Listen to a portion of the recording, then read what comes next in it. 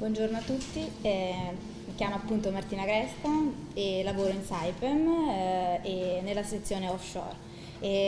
l'argomento di cui tratterò è già stato toccato in varie, in varie, presentazioni, quindi sarò breve e vi racconto un po' l'esperienza di Saipem nel, con i trapianti di Posidonia oceanica. Eh, quindi brevemente i contenuti. Eh, tutto parte da un'osservazione di un ripopolamento naturale che è stato osservato appunto a Capo Feto e da qui è nata una collaborazione con il CNR di Castellammare del Golfo per avviare una sperimentazione per una nuova tecnologia di trapianto di Posidonia oceanica e eh, quali sono i possibili scenari futuri nei quali, eh, di utilizzo dei trapianti. Eh, Saipem è un leader mondiale nei servizi eh, dell'oil and gas, quindi dal, vanno da drilling, dall'ingegneria, procurement, eh, construction e installazione di, sia di linee che di complessi eh, progetti, sia onshore che offshore. E appunto eh, ci troviamo eh, a volte nell'esigenza, troviamo appunto l'esigenza di eh, ripristinare shore approach o comunque aree dove, eh, dove si, eh, si, approda con la linea. Eh, Capo Feto è già stato spiegato, è già stato presentato in varie presentazioni appunto e il, la località nella quale il Transmed eh, arriva a terra. E Capofeto, a Capofeto i lavori sono stati realizzati eh, da Saipem e eh, era caratterizzato, ehm, la località è caratterizzata da un grandissimo ehm, prato di Posidonia che ha subito un primo, eh, una prima operazione di dragaggio negli anni 80 e una seconda operazione di dragaggio negli anni 90 e eh, questa immagine riassume, eh, anzi mostra, come eh, l'ambiente è stato poi eh, modificato da queste attività. Quindi si vede la trincea e il letto eh, e il prato di Posidonia a lato. Eh, questa immagine rappresenta brevemente invece, anzi schematizza eh, appunto questa, questa, situazione, quindi il posidonieto ai lati, ai lati della trincea e all'interno della trincea è stata realizzata una massicciata di blocchi di calcare a protezione della, dalla trincea. E appunto questi blocchi di calcare che sono stati messi all'interno della trincea hanno favorito l'attecchimento eh, di nuovi eh, propagoli di, Posidonia oceanica che come potete ben vedere si è andata a è andata a colonizzare praticamente mh, è stata a colonizzare le valli eh, probabilmente per questioni di, eh, di correnti eh, quindi condizioni idrodinamiche eh, Posidonia si è, eh, col, ha si è attecchita eh, nelle valli di questi, eh, di questi rubble mounds. Dal 93 al 99 è stato documentato questo recupero naturale della, della prateria attraverso appunto questi propagoli vegetativi. Non sono stati osservati impianti stabili né su superfici incoerenti come sabbia eh, e ghiaia né sulla mat morta, ma solo, ma solo eh, questa, su questa massicciata.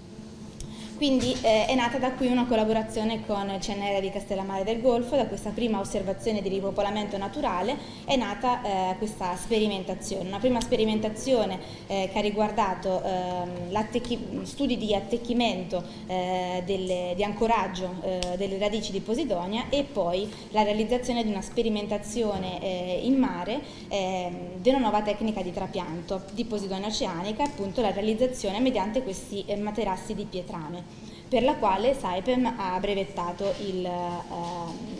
la tecnologia. Appunto questa è la tecnologia brevettata, eh, sostanzialmente sono dei materassi di pietrame di diversa attrezzatura eh, sui quali sono stati posizionati i rizomi di Posidonia. Quindi gli obiettivi erano di valutare l'idoneità di questi materassi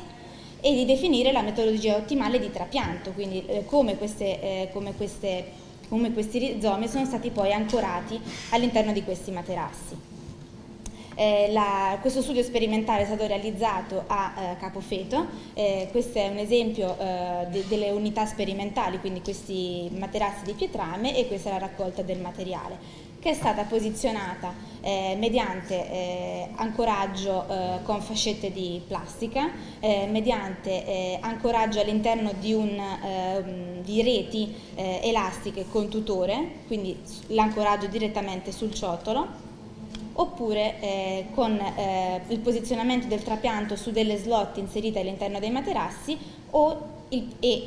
posizionamento del trapianto in cassette inserite all'interno dei materassi. Queste sono appunto eh, immagini che mostrano come, come, come, come, erano i vari materassi di pietrame all'inizio della sperimentazione, maggio 2012, che è durata eh, più di un anno. I parametri che sono stati analizzati sono la persistenza, la sopravvivenza, la, mortalità, il numero di rizomi prodotti per ramificazione, i rizomi insediati in eh, spontaneamente e in generale la biometria e l'accrescimento. Quindi dato, la sperimentazione ha dato dei buonissimi risultati per quanto riguarda la sopravvivenza e eh, l'incremento anche dei fascicoli fogliari. Quindi questo è come il rizoma eh, era a maggio 2012 e invece questo è, è come il rizoma invece era eh, a, alla fine della sperimentazione eh, e quindi eh, most mostrando sia un accrescimento laterale ma anche un notevole sviluppo di nuovi fasci fogliari.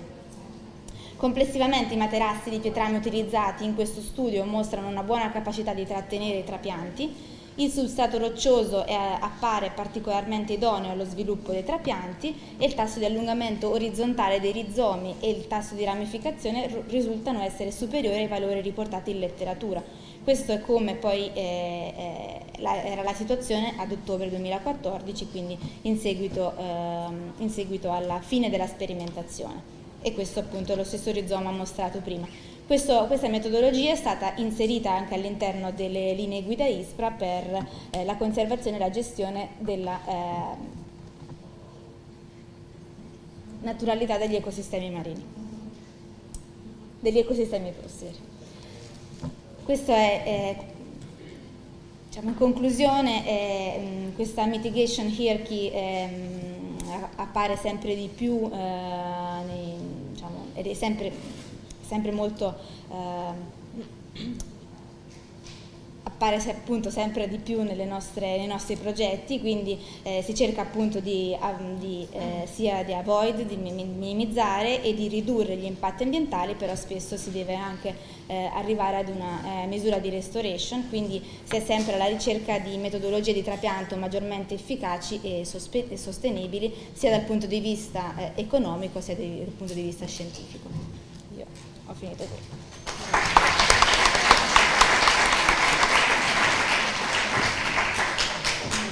Vi ringraziamo tutti soprattutto per la pazienza.